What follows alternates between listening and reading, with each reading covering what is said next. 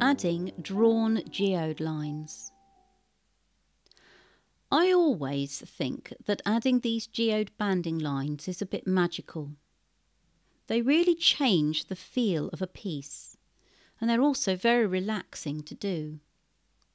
I usually choose pens which either tone or contrast with the colours of the geode, and I often use multiple different thicknesses of pen. Acrylic markers are ideal for this.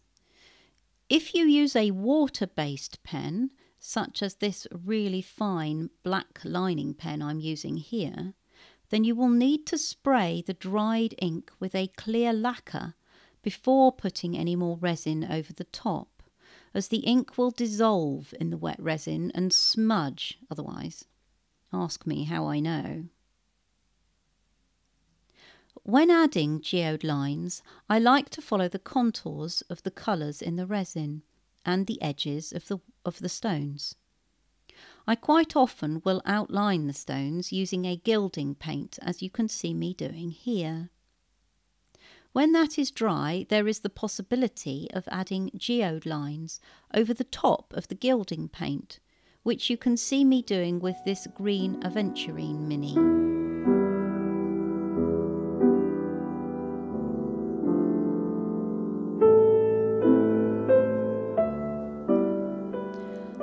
I think that these little mini geodes look really good with very fine detailed lines and using multiple lines one outside the other like this creates an intricacy to the pieces that adds lots of interest.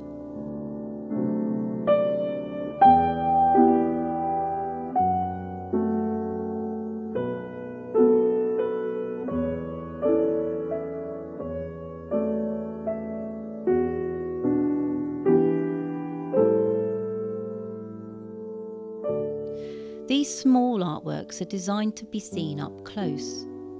If you are making a bigger artwork designed to be viewed from much further away, you might very well go for much fatter geode lines. Wide white lines are particularly effective as they contrast beautifully with any strong colour without adding any colour of their own. And combining white with another colour can be an effective combination.